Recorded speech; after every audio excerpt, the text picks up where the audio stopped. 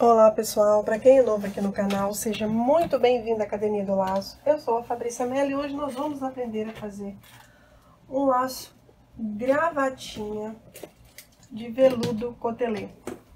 É um laço super rápido, super fácil de fazer, tá? Vamos aproveitar a estação, essas fitas estão lindas. Esse material que eu vou utilizar aqui é da Mimos da D MDF. Olha só que lindas essas cores. Aproveitem e utilizem o meu cupom de desconto Fabrícia05 lá no site para obter desconto nas compras de vocês. Ao final do vídeo, se vocês tiverem alguma dúvida, pode deixar aqui nos comentários que vamos responder. E não se esqueça de se inscrever no nosso canal para manter o canal sempre ativo e com muitas novidades. Agora vem comigo para mais um passo a passo maravilhoso. Eu vou utilizar aqui um tom de rosé, tá? Eu já deixei aqui as minhas fitas cortadas.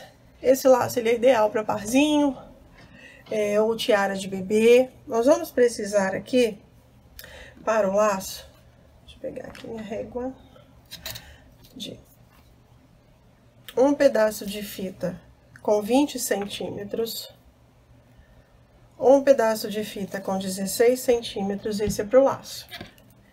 E para a ponta, um pedaço de fita com 17 centímetros. Já deixei aqui as minhas marcações feitas aqui no meio, ó. Vou transpassar o meio. Aqui, ó, meio centímetro pra lá, meio pra cá. Essa fita aqui, ela é excelente, que não precisa colocar nenhuma outra fita aqui por dentro, porque a parte de trás dela, pra ela não ser dupla face, é de cetim e é linda. Olha aqui, ó. Vou colocar aqui um prendedor para segurar. Venho aqui, ó, com a parte menor, transpasso meio centímetro para lá, meio para cá.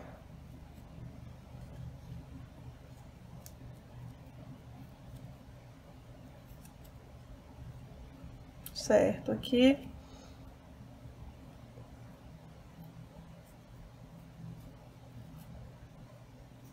Venho aqui, ó, posiciono aqui, meio com meio.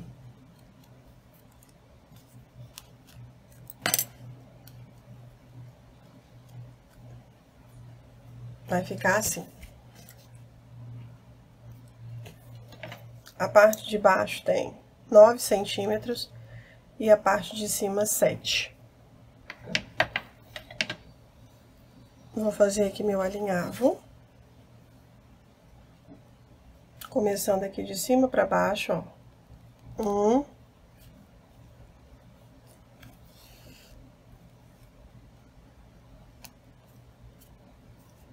Dois.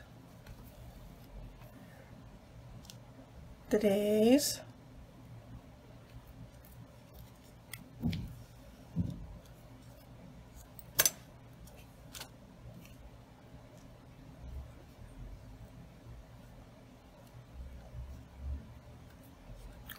Quatro.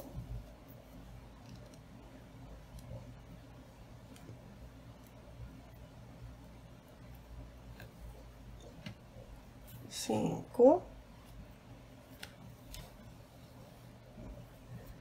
Seis. Se eu comecei por cima, eu vou terminar por cima. Se eu comecei por baixo, eu vou terminar por baixo. Por que, que eu comecei por cima? Porque eu quero que as duas voltinhas dela, das laterais isso aqui, ó, elas fiquem assim, pra baixo. Aqui no canal tem um vídeo mostrando é, essa diferença de alinhavo por cima, alinhavo por baixo, uma ponta por cima e outra por baixo, tá?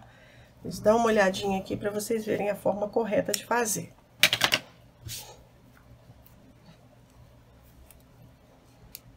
Juntei tudo aqui, ó, puxei.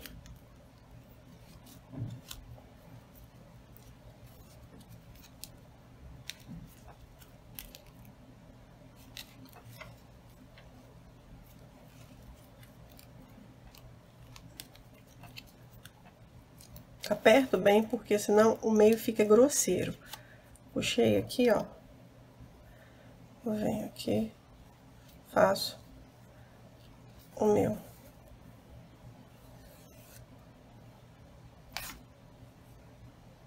Acabamento. Deixa eu fazer novamente aqui, porque senão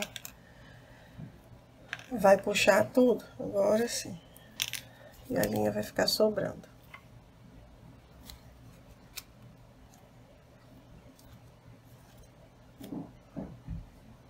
Vai acabar que meu alinhavo vai ficar frouxo. E não pode. Pronto.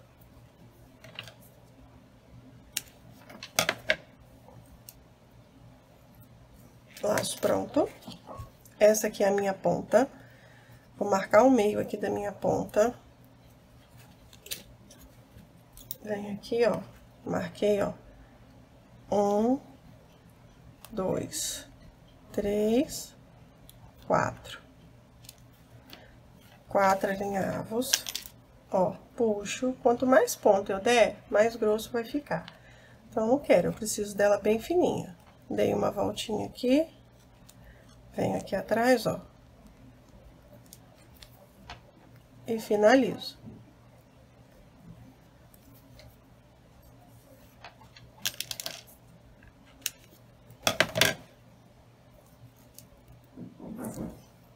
Finalizei aqui, vou utilizar aqui para esse laço um bico de pato de 6 centímetros. Já deixei, já deixei ele aqui encapado, tá?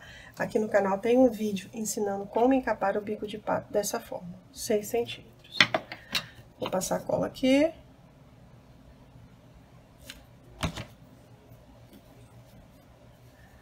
Venho aqui, ó, posiciono aqui no meio, pressiono.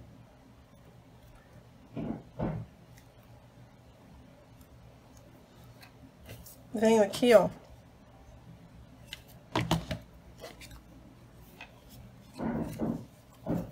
Coloco aqui a minha pontinha.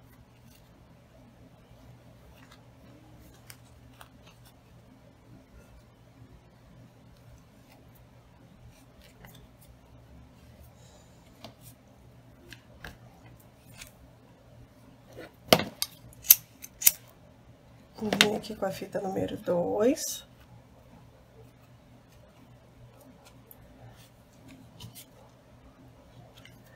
Vou fazer meu acabamento. Tô achando que eu colei torto. Não, colei certo. Ó.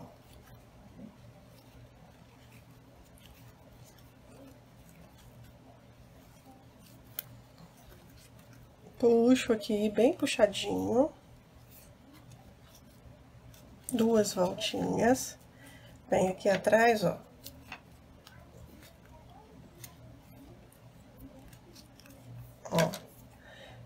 Finalizo aqui o meu laço. Finalizei aqui, ó. Aqui.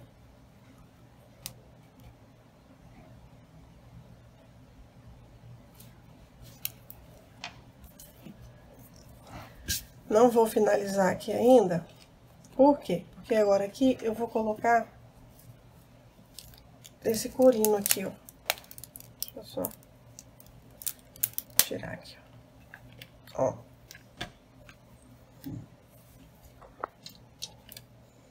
Preto com rosa fica lindo, né? Então, vou utilizar aqui preto com rosa.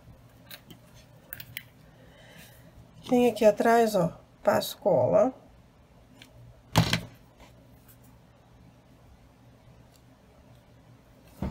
A espessura desse aqui, deixa eu falar pra vocês, tem ele mais fininho, tem ele mais larguinho.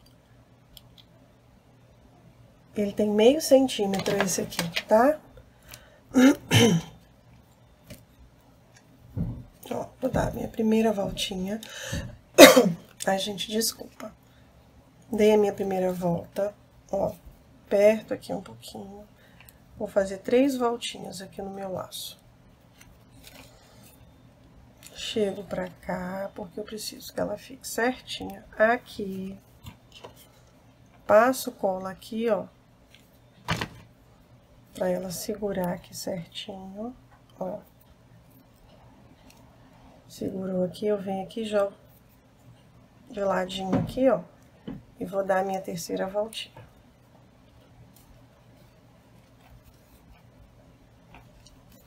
Abro o bico.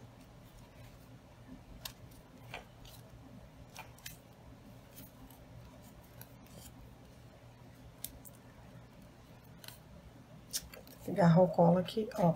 Três voltinhas, bem apertadinhas e bem juntinhas. Aí eu venho aqui, ó, e vou finalizar aqui. Vou pegar aqui uma tesourinha para cortar, que não seja minha, porque acaba estragando. Não utilizem a fita, a tesoura de cortar fita para cortar esses tipos de materiais não, tá, gente? Senão vocês vão acabar cegando a tesoura de vocês. Pronto.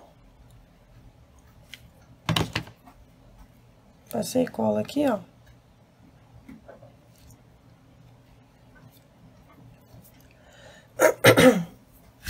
Agora sim, eu venho aqui e finalizo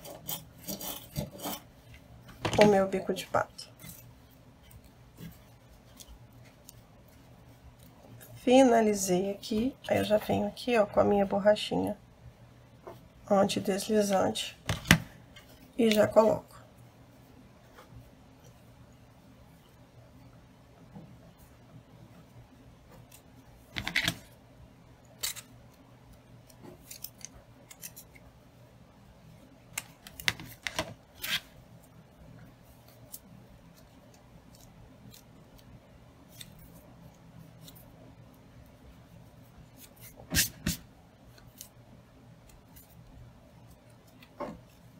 Olha só que lindo que ficou.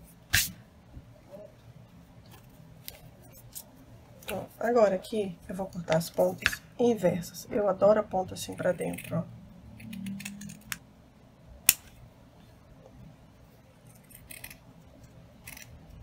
Eu acho chique demais.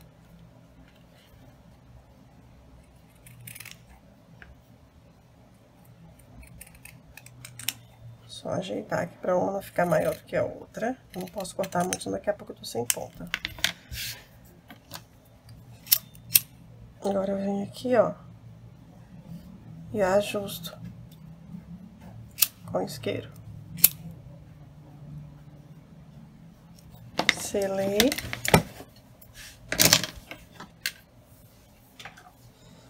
Vou utilizar aqui a minha tag para laço da Infinito usina de apliques, que acabou caindo aqui um monte. Então, tem aqui na pontinha do meu laço aqui, ó.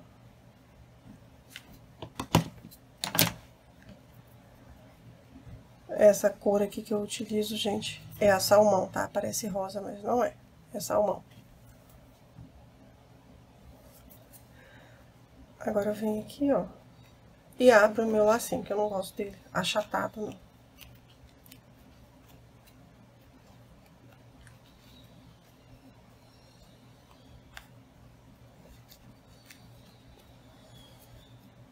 Parece que ele tá amassado.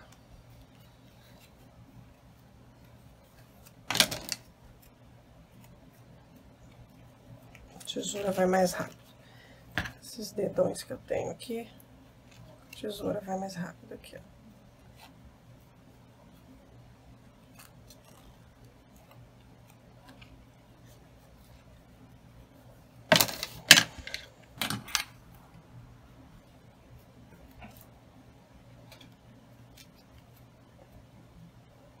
Pronto, o laço depois de pronto, gente, ele ficou com 8 centímetros e meio. E a ponta maior aqui da ponta ficou com 6 centímetros e meio. Arrasem aí no verão, no verão, ó, no inverno, com as, eu tô até doida, com as cores aí maravilhosas dessas fitas. Caprichem aí na criatividade tá? Eu coloquei esse corino aqui no meio, mas vocês podem colocar um aplique, tá? Eu achei esse corino aqui a cara do inverno.